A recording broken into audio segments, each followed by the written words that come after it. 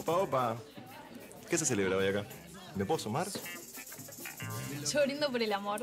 Yo brindo por la amistad. Y yo brindo por mis secretos.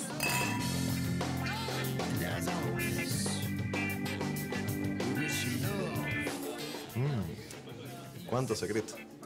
Me estaría costando adivinar. Espérame que ya vengo. Maestro, deme lo que está tomando la chica de negro, por favor. ¿Me estás jodiendo?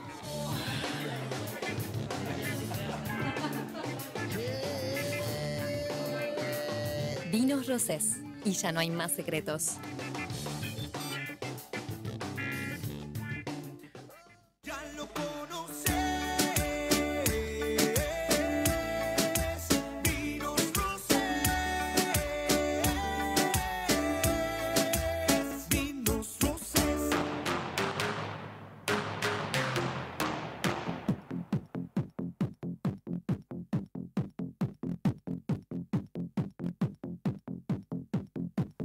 Bueno, muy bien, continuamos. Qué, bien se pasa aquí en el estudio de MBD Film.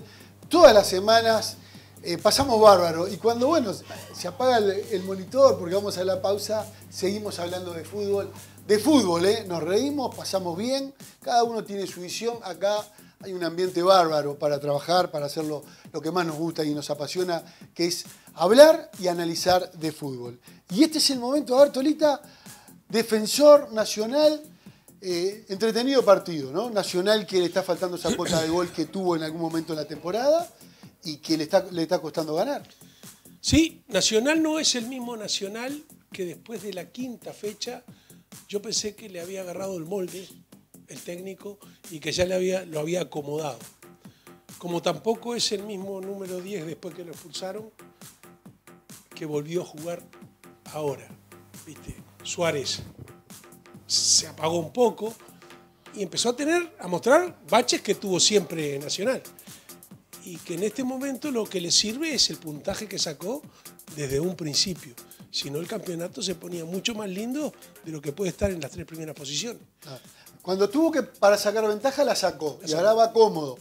Donde no ha sacado tanta ventaja y viene peleando de atrás, ahí muy juntito con River, que, que tuvo un partido bárbaro que goleó, que se quedó con la tabla de, clausura, pero bueno, este Nacional está costando llegar al gol. Algo que me comentaba ayer más temprano, Volter, pero genera, ¿no? Sí. Esa debe ser la tranquilidad. Ha tenido cuatro empates, pero normalmente tiene ocasiones de gol, seis, siete por partido. Eso es interesante. No están finos a la hora de terminar, ¿viste?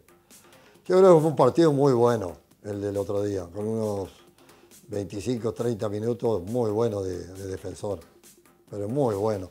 Y a defensor, ¿qué le faltó? También le faltó calidad en su futbolista para eh, haberse, haber convertido. Tuvieron 4 o 5, viste que definieron fatal. Pero, y después Nacional encuentra un gol magnífico también, ¿eh? La jugada de gol de Nacional fue formidable, la devolución de, de Fagundes fue extraordinaria, la puso para atrás. Arma una triangulación Sí, bárbaro, bárbaro, bárbaro, bárbaro fue el gol. Y ahí, viste, de repente un poco medio inmerecido, pero claro, Le- Letal tiene jugadores de calidad nacional y eh, convirtieron el gol. Y después, eh, cuando empieza el segundo tiempo, todavía se quedó en el vestuario nacional.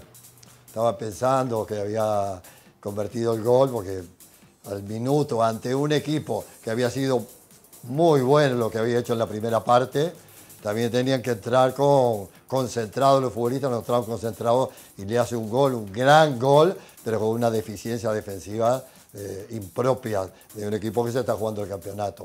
Y después la- al final, con la expulsión, ahí lo tuvo medio a maltraer y, y el resultado, si se quiere, fue justo. Y fue buen partido. Sí, pero Nacional lo veo, sí, que y este partido jugó mejor que el anterior. Más, más comprometido, más enchufado lo que dice el Tola, muy bajo mm, Suárez, ¿viste? porque claro, esta consecuencia de partidos de la selección, a la edad que tiene, ya le está pasando factura y eso lo ha sentido Nacional. Pero fue un partido interesante, en líneas generales, de lo bueno que se pudo ver este fin de semana. Fagundes es el que dice Tola que, que no, que no viene repitiendo. Después de la expulsión no lo veo en su nivel. No, y me da la sensación de algunos muchachos con condiciones aquí en el fútbol uruguayo como que están más propensos a llamar la atención, eh, eh, ya sea por un empujón, por un borbollón, por protestar, que por jugar. Entonces a veces pierden la línea de juego en función de su capacidad, porque a mí me gusta muchísimo. Pero a mí me encanta Fagunde. Y Fagunde los pulsan por eso. Acordate que los pulsan por, por ir a querer este, cubrir a Suárez en, en el problema que tuvo. Y no tiene que meterse en eso. Es un muchacho joven con unas condiciones tremendas. Y es un jugador que, que en la posición que estaba jugando, que está jugando en Nacional, lo hace muy bien. Lo hace muy bien. Tiene unas cualidades tremendas. Pero tienen que dedicarse al fútbol. Mira que hay mucho circo armado alrededor de los equipos y con los arbitrajes, con, con ¿cómo es? Con las cámaras estas que, que te paran el partido, El ¿cómo es? tema del VAR. El tema del bar. Y vos decís, vos viste todo lo, lo- lo que se paró este fin de semana por el bar. Sí. Es lamentable, es lamentable. Solamente acá eh, en este país ocurre eso. Ahora, Claudio, Nacional no fue efectivo a la hora de concretar las situaciones que generó. De todas maneras, a mí me da la sensación que le ganó la mitad de la cancha con mucho más dinámica, con mucho más juego, defensor. Y, ahí en la mitad de la cancha lo sintió Nacional. Sí, yo creo que sí, para mí es un gran partido defensor, este, claro merecedor por lo menos hasta la mitad del segundo tiempo de llevarse la victoria. Este, pero bueno, el fútbol tiene esas cosas también, ¿no? Nacional en una, que en realidad nace en un error de defensor, en, en un mal despeje de, de Mayo y después ahí este, eh, hay una buena triangulación que termina en el gol, pero, pero creo que, que Defensor hizo un gran partido, este, incluso creo que le anula el mal un gol, no sé, ahora después lo, vamos a ver, pero para mí se lo anula el mal porque esa mano no, no, puede invalidar el, el gol. Pero de todas maneras creo que fue un buen partido de defensor y, y que capaz que tendría que haber habido un merecedor de la victoria era defensor. ¿Valentina? Eh, opino exactamente lo mismo. El gol me parece que estuvo mal anulado. Bueno, el- lo que marcó Alan Maturro a Suárez fue impresionante lo que juega ese chiquilín, 17 años. Bueno, mañana eh, cumple los 18 años. Eh, un disparate lo que juega. Me parece que Defensor se plantó bien en la cancha, le hizo partido a Nacional y, bueno, y siempre que Nacional y Defensor juegan nos regalan buenos partidos. Nacional no, no está encarando, no lo veo en su, en su órbita en los últimos partidos. Va a cuatro empates eh, eh, seguidos que va, va ejecutando en este campeonato. Y, bueno, también recordarlo de la expulsión en la Copa AUF, que Rampla lo elimina por, una, por un triunfo 3 a 0. Eh, Nacional creo que se tiene que replantear eh, cómo quiere terminar este campeonato. Si bien está despegado en lo que es la tabla anual, recordemos que quedan por jugarse nueve puntos y también Liverpool está ahí atrás haciéndole sombra. ¿Qué temita, eh, Volter? Alan Maturro, 17 años.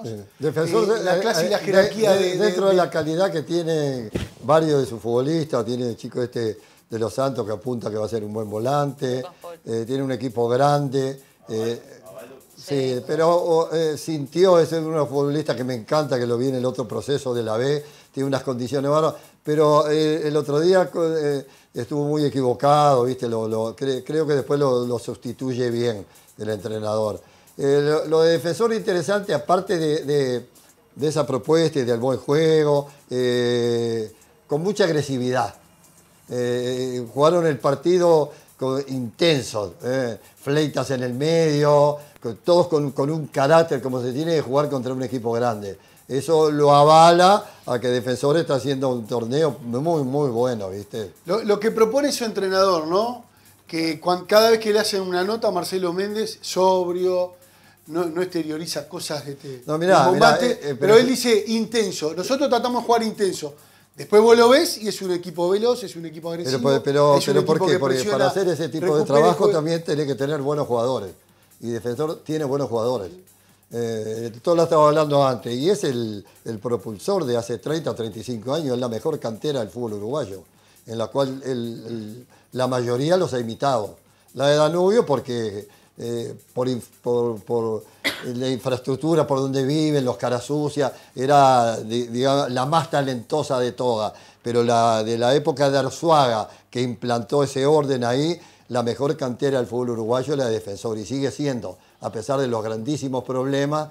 Ahí aparecen después lo que dijo el Tola de Palma, que ha sido formidable lo que ha hecho, pero la base, está- están teniendo problemas económicos, pero ¿dónde está sustentada? ¿Dónde está ese buen equipo? Porque la mayoría son futbolistas de, Sí, sí, de- de sí, la cantera. La ¿eh? calidad de lo que viene de abajo. Exactamente, o sea, sigue trabajando, vos vas a Pichincha y es un goce estar en Pichincha. Entonces tiene a la propuesta del entrenador, que es un entrenador que también a mí me, me, me- me produce que, que- que va por un buen camino, es un chico muy inteligente, pero acompañado porque tiene también esos jugadores para llevar eso a la práctica.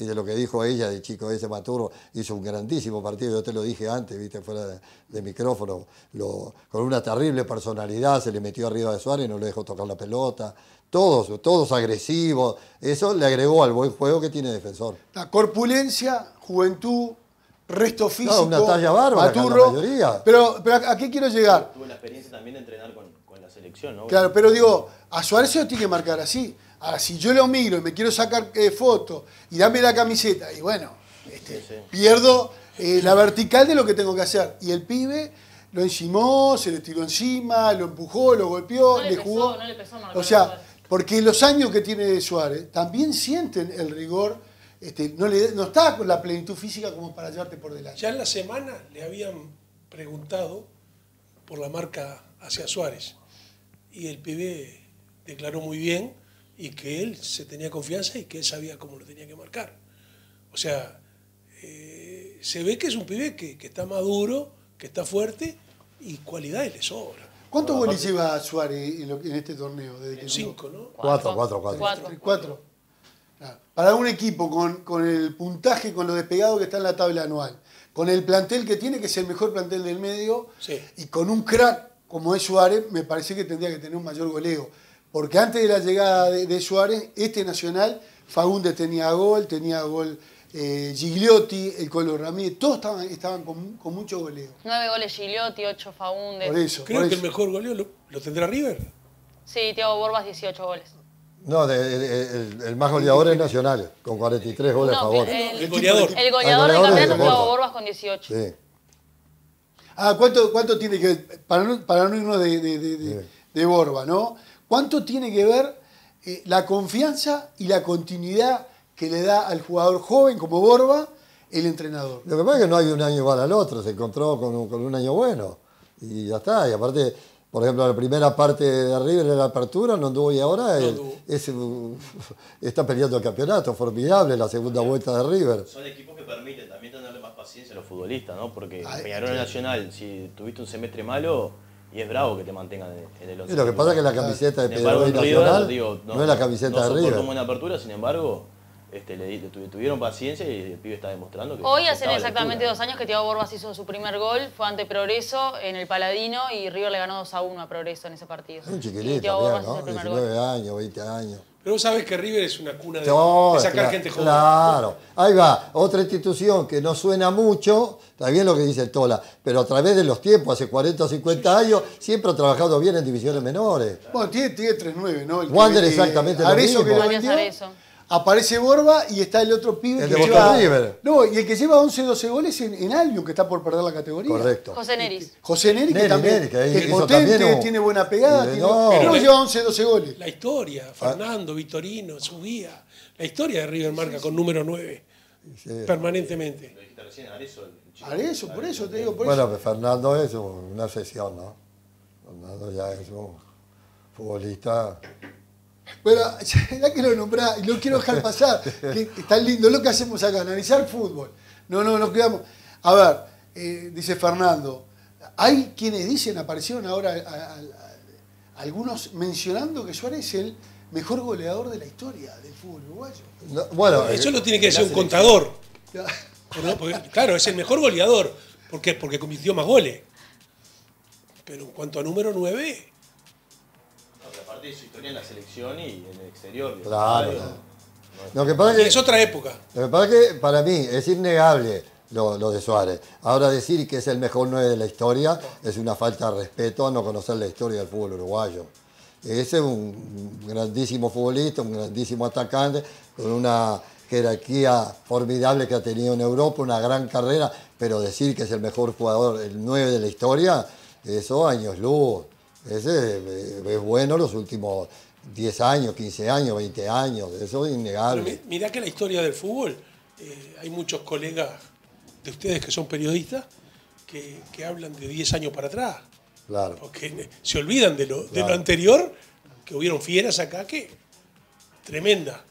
Y aparte, eh, un proceso totalmente muy bueno de la selección, las selecciones uruguayas siempre habían sido descuidadas, con problemas de, de toda índole. Entonces, no vamos. Eso es lo que a- a- desconoce. no- no Claudio, vamos- vos sos un muchacho joven. No vamos a Desconocés que, por no- ejemplo, eh, las selecciones uruguayas del en el 80, por ejemplo, que no fuimos a, a España 82, no tenía lugar donde entrenar Uruguay.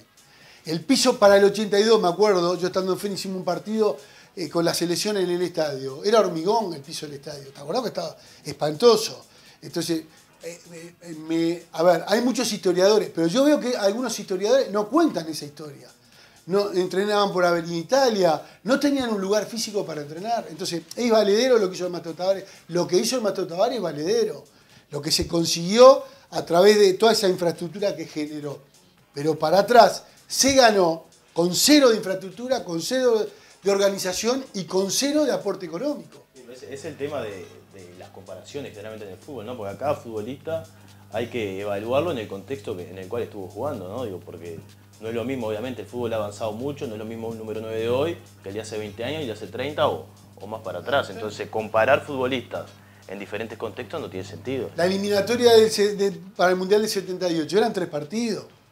Tres partidos. Y Uruguay fue con ju- eran todos juveniles. Morena, Julio César Jiménez, eh, eh, Darío, Sí, pero era- Darío tres pero Pereira, difíciles. Heber Rebete, eran todos pibes. Pero eran era- todos pibes, pero eran difíciles jugar esos tres Claro, por partidos. eso. Pero si volvés, es difícil hoy si volvés a jugar a tres partidos. Pues sabés que tenés que ganar, por- ganar, ganar. Por ejemplo, tú, por ejemplo, no, sabes lo que eran las canchas. Sabes lo que eran las canchas 40 años atrás. Y ahora tú ves, que sos joven, ves la cancha de Wander, la cancha de River, todas las canchas que son formidables, los pisos. ¿Sabes lo que eran las canchas? Era jugar en la tierra. Y ahí jugaban, eso es lo que eran buenos. La cancha de Liverpool sobre el lado de la tribuna de enfrente había un escalón. En Europa también, las canchas eran la formidables, pero ahora lateral. son 50 veces mejores. Es que si hoy en día la infraestructura a veces la criticamos y vemos que es com- compleja para jugar acá hace 20, 30 años atrás. No, más, pero 40 años atrás, pero 40, si ves la cancha de la cancha de Liverpool, la cancha de Bellavista, la cancha de Rampli, la cancha, eso, todas las canchas. esa- esa Vos mirás a veces cuando pasan esto, eh, que están pasando fechas pasadas, fíjate las canchas lo que eran. No, y ahí tenías que jugar bien. Ahora es mucho más, Y- tiene y- may- mayores facilidades. y se no hablemos de, de la indumentaria, de los zapatos de fútbol. Lo teníamos que tener en grasa durante tres días, cuatro días. Sí, la pelota, hoy la pelota. Se mojaba y sabe cuánto pesaban. No, No, pero y, aparte- y los zapatos que ahora son una plumita y antes pesaban. Y aparte las comparaciones son odiosas. Claro, ¿no? totalmente. No. Pero a veces lo, lo lo tenemos que refrescar porque tenemos que. eh, o sea, Por ejemplo, eh, dicen que Messi es el que mejor valorar- jugador de la historia. ¿Y quién vio a Pelé? Alfredo Di Stéfano, a Cruyff. Entonces no, un buen jugador, sí. Entra en esa mesa de los 5 o 6 más grandes de la historia, pero no es el mejor jugador de la historia. Volter, lo que pasa es que hoy hay un marketing y las redes necesitan alimentarse de lo ¿Te último. imaginas lo que sería Pelé hoy en este contexto? Metete en un video en YouTube a ver lo que era Pelé. Es completo. Volvemos, vamos a volver a defensor porque está lindo. Por si, Ya. podemos seguir hablando 10 No, pero horas. igual. tocaste el tema gordo por Suárez. Pero lo, lo toco porque. No, pero ¿sabes por qué lo toco? Porque eh, eh, eh, el fútbol es uno solo. Y aparte otra Y- cosa, Y, vale, Suárez. y vale, Suárez, vamos y no te venimos. olvides que va camino de los 36 años. Claro, totalmente. Y entonces, ¿y- y ¿qué le vas a pedir a Suárez? Eh, a ver, por eso digo, los marcadores, como Maturre, que es un pibe, el pibe de, de defensor, marcalo como, uno, como un oponente, no porque sea Suárez. ¿viste? Si lo respeta, y te apuesta. No, no, si le das un metro, te apuesta. Ahora, si lo marcás como lo tenés que marcar, le va a costar mucho Ya no te, más. ya no te- gol. no te acuesta tanto. Claro, no, bueno, pero- acuesta Si lo- tanto porque los años. Si lo admirás cuando entras a la cancha, Tal estás cual, perdiendo. tal cual, tal cual. Es bueno Balboa también, que a vos te gusta, ¿eh? Sí, interesantísimo Balboa. trabajo. Tiene que mejorar la, la definición, de todas maneras, el goleador de defensor. Eh, hizo un trabajo bárbaro Balboa, ¿eh? Los tres de arriba. El que anduvo medio, de, de- que a mí me encanta, eh, Oval- A- a- a Baldo. A Baldo, me encanta Baldo, tiene unas condiciones, es un chiquilín. ¿Viste? Es el que anduvo de los, de los tres de arriba, pero Balboa hizo un trabajo formidable. Y el argentino. También jugó muy bien. y- eh, El Sari. exacto, Sí, dinámico, inteligente No, para no. saber jugar, con la pelota en los pies, sin ella. Partido, un partido bárbaro de defensor. Yo a veces me detengo a mirar cuando veo a defensor. Eh, Los equipos grandes, y bueno, tienen la obligación, ¿no? Y tienen la posibilidad de contratar. Si después contratan mal, ese es otro tema. Pero a veces vos mirá, cada vez más, tú la vos como entrenador, Volter, cada vez más el fútbol de hoy en día requiere jugadores inteligentes que interpreten el juego. Porque cada vez más, no, no, ya no, no, no, no, no se puede mirar, tenés que estar participando con y sin pelota del juego permanentemente. Y este Lizarre, yo lo veo dinámico, cuando, trabaja en la recuperación cuando hay que trabajar, es argentino. Los argentinos juegan Tienen bien. otra idiosincrasia. ¿no? Juegan bien los No, juegan bien. Juegan bien. Ahora, lo- los quiero involucrar eh, en la jugada del segundo gol, que fue espectacular la jugada, y, y fue un golazo como cómo se da, cómo se gesta la jugada. Después vamos para atrás de la jugada y aparece esa mano. Entonces, a ver, yo digo que cuando, cuando extendemos el radio para el hacia el costado, es mano. Pero cuando estirás el brazo hacia atrás, para mí no se cobra. Es mano, es mano, es mano. Lo que pasa es que lo que te llama la atención es que Cuña está al lado. Y no lo ve. Es, es mano, porque No ahí lo ve. te das cuenta que esto Claro, pero Cuña está al lado y no lo cobra. Ay, no lo cobró. Ahí está. Y bueno, pero para Pero eso está- yo, por ejemplo, está coincido con, con Cuña que no lo ve. Para mí, si estirás el brazo hacia atrás, Si lo estás sacando, digamos. sacando, claro, no es. para, y, y hay una toma, clarito que saca el brazo todo para atrás. No es que está abierto. Si abrís el, el radio, es mano. Pero si te pegan la mano cuando vas sacando hacia atrás, me parece que no se debería Ahí está la repetición. del- Una cosa es la mano cuando, este, si la ve en el momento y la cobra, fenómeno. Otra cosa es anular un gol por una mano de este tipo. O sea, la mano tiene que ser clarísima, tiene que, que claramente incidir en la, en la jugada en la que termina el gol. Me parece que anular el gol por esa mano me pareció... sí, sí, totalmente. digo, Ahora para el VAR fue mano, ¿viste? Para el VAR fue mano. y lo llamaron, si lo llaman Claro, es porque... Pero en, el el audio, viste que Cuña le decía, yo no la vi, yo no la vi. bueno, yo no la vi". vio. Claro. Y porque ahora están pendientes del VAR. El El, que árbitro decide- tiene que tener, eh, eh, conocer el reglamento No, y cobrarlo él. El que decide finalmente es él. Yo lo que di- discrepo, digo, le puede pegar en la mano. Eh, ¿Ves que, mira, ahí la estamos viendo. Saca el brazo hacia atrás. Entonces, en algunos momentos. Lo que pasa es no, que interfiere, porque ahí Suárez le amaga y, y, eh, lo- se le iba. Y justo le pega en la mano. Ahora, si, si fue tan frontal la mano, yo no sé. Pero, Mirá, ¿no mirá, ves? mirá, mirá. ¿No ves? Ahí va sacando el brazo para Mirá, atrás. Suárez gira ahí. porque la pelota sigue de largo, no- Claro, no, se para. claro. Si vos tenés ese brazo abierto, la pelota queda ahí no, muerta. una sí. cosa es que corte la, la jugada con la mano y, y salga jugando, Claro. otra cosa es un rebote de eso.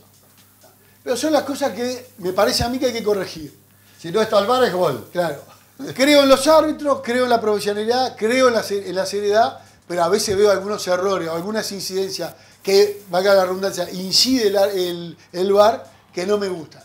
Porque le quitamos muchas veces la impronta y después ahora se está utilizando mucho la interpretación. Y acá Entonces, ese es el tema, porque el, La eh, no, pero yo lo interpreté tal cosa para justificar el error o para eh, justificar este, el no cobrar Vas a ver que en el Mundial no pasa nada de eso. Acá todavía con el VAR están con unos problemas, demora 7 minutos, 8 minutos. Sí, eso, ni que hablar, que, impresionante. que Claro. demoran. Ya creo cuando que 15 cobran, segundos para el campeonato del mundo, más de 15 segundos no puede. cuando claro, cobran eh, demoran como 7 minutos en mirar una jugada y después también están. eh, Tiene que duda si la la cobran, si no la cobran, exactamente. Ahora Suárez tiene unos recursos tremendos. Me quedé con, con el recurso del taco que tira. Ay, Si sí, llega a meter claro. Qué, qué Eh, golazo es un sido. jugador clase A, un crack del fútbol del mundo. Los recursos. Todo o sea, de eso no te olvidás. No te da el físico para eh, tener ese arranque que tenía, para llevarte el arrastro. ¿cómo te va a dar el fío y tiene casi que 36 años. No, y no está rodeado tampoco como lo Pero estaba en Europa. eh, ¿no? jugaste al fútbol, vos, Muy vos bien. jugaste al fútbol, ¿no? Pero, Te puedo asegurar que si va a la MLS hace 30 goles por, por temporada. ¿Quién, Suárez? Suárez. No, Sí, hace sí. Hace sí. No que va a ser 30 goles por temporada. En la MLS, bueno, lo No. vamos a ver, lo Mirá vamos que- a ver. mirá que no- Se- mirá el año que viene lo vamos a ver. Va mirá, para ahí. Mirá que, mirá que es un fútbol fuerte. pero lo, Eh, lo único que va a tener que hacer es empujarla. No, que va a No como empujar. acá que tiene que hacer todo, digo, pa- pa hacer Pero mirá, mirá un poquito, eh, el que jugó al fútbol, ¿vos sabés lo que son 36 años? ¿Sabés Qué cómo bueno, te pero- pesan? Por pero- más que, que tengas una genética. Pero la marca, la- la- en la MLS le va a venir bien porque la marca en la MLS no es como en Europa, ni siquiera es como acá. O sea, va a tener que no espacio sé si va para a ir a jugar. la MLS, pero lo que- te hace 30 goles Sí, ya tiene un arreglo. con- es, un fenómeno. Washington. Bueno, no sé si 30, pero cerramos en Sí, 18. pero, sí, pero la 18 virtud, goles por la temporada. virtud de él es el gol. La virtud de él es el gol, ¿no? esta va y hace por la plenitud en Estados Unidos. Pero tremendo. La tremendo. virtud es el gol, claro. Vos fíjate este pibe que fue de Peñarol, que hizo un gol precioso el otro día. Facundo Torres. Facundo Torres. Ese es otro, ¿no? Que no entiendo por qué no, no, no tiene su lugar en la selección, ¿no? Porque ese es más completo, es más completo incluso que, que, que Pelistri. Porque Pelé te puede jugar solo por afuera, este te puede jugar por todo el carril y suelto por adentro. Lo de Pelistri cumplió. Cumplió cuando lo puso Alonso, le rindió bien. Este, ahora no creo que salga jugando de titular. Y es otra historia el campeonato del mundo, ¿no? Es no otra historia. Aparte, si llega sin jugar, está todo bien, pero si llega sin jugar, No, por eso te digo. Bueno, a, ver, lo quiero involucrar. Quedan tres fechas para terminar el, el campeonato clausura. Nacional que pierde puntos, River que golea y le gana claramente eh, a, Rentista, a Rentista, ¿sí? Bien digo. Y se queda con la punta del campeonato. Yo hay algo que siem- siempre sostuve. Cuando aquel Danubio estaba para ganar, ganó. Cuando Defensor estuvo para ganar, ganó. Ahora, algunos dicen, eh, Deportivo Maldonado cuando tuvo para ganar, no estaba para ganar porque no tenía el equipo para ganar en la apertura. Tuvo dos partidos para, seguir de largo, también Deportivo Maldonado. Son equipos que ganan, suman, pero no son equipos que, Lo que hoy se va a Deportivo ganar. Maldonado un poco distinto a este River. Y, River, y River, yo no, no sé, quiero ver, ahora juega con Liverpool, River igual, ¿eh? Eh, que agarraste la punta, hiciste cinco goles, tenés que rematar el campeonato, me parece a mí. No, no, yo no, no, no le valoro las excusas. Cuando vos estás ahí fino y ves que Nacional no está fuerte, tenés que ganar el campeonato. No, no, no, no, no, va- no ¿Qué, considero las excusas. qué decimos? ¿Quién puede ser el, el ganador de estas tres fechas? Tiene- el fixture le queda más cómodo a Nacional, ¿no? yo, Sí. yo, yo creo que Nacional. Nacional tiene y todo para ser campeón. Bueno, pero a, eso voy yo. Agarré la punta a falta de tres fechas. Muchachos, la final del mundo contra Liverpool y la final de. Pero, por ejemplo, si a- analizar, eh, eh, por ejemplo, la situación de uno y otro, de Peñarol y Nacional. Peñarol sí, ha consumado cuatro empates consecutivos, pero hay algunos que le ha llegado 10 veces o 12 veces. En este menos. En todos los partidos ha tenido ocasiones de gol. Y no sé si ha merecido... Creo que el partido más difícil que debe haber tenido debe haber sido con este, con Defensor. Que le- Nacional. que le pudo haber, viste, ganado. Le pudo haber. Yo para mí el resultado justo. Porque en la primera parte sí, Defensor hizo un gran partido, pero, pero después no continuó. ¿viste? Porque además los partidos duran 97 minutos. No, y de Entonces, nada, usted no nada. puede jugar un ratito bien. Tenés que jugar lo- lo- un altísimo porcentaje del total del partido. Se cayó un poquito el chico este Carballo, ¿viste? Eso sí, que de repente, de repente lo han sentido. Pero yo lo vi otra vez a Nacional, ¿viste? Como a- frente a un gran rival otra vez en una línea. Eh, eh, Elizare y el otro pibe, como es este, el, el volante Los de, Santos. de Los Santos. Marca, tiene quite, porque una cosa es marcar, otra cosa es quitar, y cuando tiene la pelota en los pies juega, y sabe jugar, es buen pasado. sí. Pero además, de volante de contención en la mitad de la cancha, pisa el área. O sea, entonces, eh, se mostró superior defensor a los dos volantes que puso Nacional en la mitad de la cancha. Y Jonathan que- Rodríguez bien también, ¿eh? el de Nacional, bien. Sí, sí, sí. bien. Pero dista de la primera parte del año, ¿no? Cuando Sí, apareció. porque tuvo una lesión, tuvo una lesión. Pero para mí sigue siendo un futbolista interesante. Yo veo a Nacional como que, que va a ser el campeón de, de clausura. de mi- me- sí, por ahí sí hay lógica, ¿no? No, Pero no, yo- por equipo, por Fíjate- equipo también. Fíjate la irregularidad del campeonato que empató cuatro partidos seguidos y sigue ahí arriba. Claro. O sea, perdió ocho puntos. por eso, sábado, te- 15. por eso eh, eh, a veces la, la falsa, esa falsa visión que tenemos, ¿no? Deportivo, lo dije la semana pasada, le doy el mérito por estar ahí arriba, pero no es un equipo que a mí me dé lugar de que pueda ganar un campeonato. El Deportivo Maldonado, por ejemplo. No, no me da la, no me da la sensación. Y este River, que lo veo mejor que Deportivo Maldonado, pero también lo, lo siento endeble. Y tiene un partido clave lo te- ahora con Liverpool, Liverpool, ¿no? Que viene en alza Liverpool también, ¿eh? Eh, va a ser un partido muy parejo, un lindo partido. ese. Liverpool, Peñarol y Torque le quedan arriba. Le queda muy- el le queda- Peñarol y Complicado. Torque. Te digo que Peñarol es el partido más fácil que tiene arriba. Eso Sí. que le queda. Pero Aparte, eh, en el- que si se quiere, a lo mejor es un bajón que tiene Nacional, pero si vos le haces un, parás bien tu equipo y le jugás, le jugás de, de una manera, y los equipos grandes sufren. O sea, no, no te tienen que arrollar, no puede ser que ganen todos los partidos. ¿Por qué tienen que ganar? Los rivales también juegan. ¿eh? Si tenés un funcionamiento adecuado del equipo menor, ayer por ejemplo pasó con Plaza y se le paró bien, le achicó los espacios, tácticamente bien, y lo complicó a Peñarol y le ganó, y le ganó con autoridad. Y entonces los le equipos haber grandes- ganado por algún margen más, ¿no? Todavía. Sí, pero- Pero, pero es un Peñarol que, que fue el peor año. Claro. El peor campeonato de Peñarol. Sí, pero igual, viste, todos la tienen la obligación, viste, los grandes. sí, te la empuja la la gente. Hab- Había seis entradas vendidas de plaza, solitos ahí en el estadio. Te, te- te llevan en volanda los, los equipos grandes. Es distinto igual cuando llegás al final peleando el campeonato que el caso de Peñarol, que ya está un poco ahí como. Sí, pero tiene una obligación. Que No, Peñarol el tenía, lo que tenía obligación Peñarol era pelear por lo menos eh, algún puesto de Pero- Copa Libertadores, Claro. pero... Nos vamos a, en el próximo bloque nos metemos con Peñarol. A ver, hablábamos de River. eh, yo no lo veo llegando a pesar de que goleó y de que viene Julián, pero sumando. no es que no le veas llegando, es que tenés a Nacional ahí. Es que- Está compitiendo. a ver, eh, eso. a tenés, ver, yo me- ojo, tenés a Defensor también que está ahí. Pero lo que quiero decir es esto. Yo no veo equipos eh, con la dureza o con la fortaleza, aún teniendo la punta del campeonato, para ganar. No, no los veo.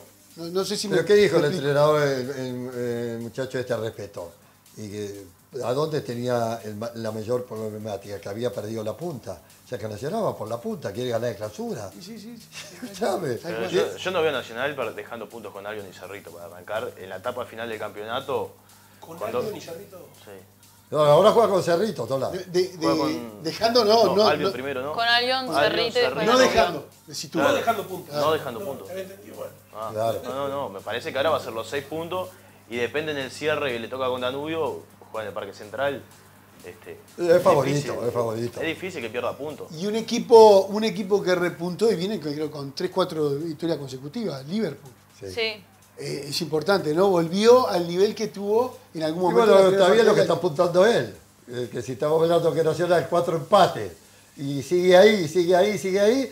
Y el, el líder, porque se había medio caído, emparejó tres o cuatro triunfos consecutivos y está metido ahí arriba también. Sí, sí, está metido ahí Por lo arriba. menos va a ser segundo en la tabla anual, va a tener un puesto de Copa Libertadores. Bueno, y volvió a dejar puntos este, el equipo de Fénix, ahora sí se despidió definitivamente De- de clasificar una Copa Internacional. ¿no? Sí, Y sí. está está- complicadísimo. Y, y, y va a arrancar complicada la temporada que viene, con el tema del Se, descenso. se salvó, digamos, viene salvándose del descenso, porque en su momento estuvo involucrado. No, pero ahora bajan tres, va a quedar, va a quedar Feni, va a quedar Cerro Largo, si se salva Cerro Largo, digo, ¿no? No, ya se salvó Cerro Largo. Torque. No tengas un punto más. Torque, no, van a quedar. pero ya se salvó. Albion es imposible. Claro. Imposible, ya está salvado Cerro Largo.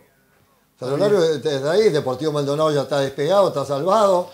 Félix está salvado. El que entra último prácticamente, si no puntúa, ayer llevó tres puntos de oro, es Plaza Colonia.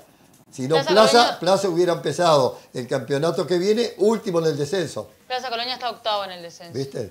Claro. Hoy, claro, Sí, arranca sí. último en la temporada que viene. Exactamente. Y bueno, hay Tiene un que- pelotón ahí que se van a sacar chispas. Noveno Boston, décimo Wanderers, décimo primero Deportivo Maldonado, décimo segundo Fénix, décimo tercero Cerro Largo y décimo cuarto eh, después está el Montevideo City Torque. Monterrey una campaña bárbara. Una ¿eh? camp- Lo de, Torque es campaña. increíble. Lo de Torque es increíble. Con las posibilidades que tiene que, que termine peleando el descenso, increíble. Y a veces este, la Lo va, a salvar, a- lo va a salvar Albion, porque viste, en esto- Sí. Sí. Lo que está hablando él en estas instancias donde tenés que dar el do de pecho, como dicen los. Y, eh, está No, con y una- consiguió dos triunfos importantes. Es que es horrible esto, la, estar peleando. ¿Sabés lo- lo- la, la preocupación de los futbolistas que estás. No, no, aparte que dependés también de otros, que si los otros pierden Claro, o ganan. Tenemos que hacer una breve pausa. Si pensás en, aberturas de en calidad, en aberturas de aluminio y PVC, pensá en arte aluminio. Elija bien. Más opciones, mejores decisiones. Somos una empresa que tiene como objetivo brindar a nuestros clientes profesionales y particulares un servicio completo en sus proyectos de obra. Ofrecemos asesoramiento técnico, personal idóneo y materiales de primera calidad. Arte Aluminio, la empresa líder en aberturas en Uruguay. Bueno, muy bien, hacemos una breve pausa y volvemos con más la noche del fútbol.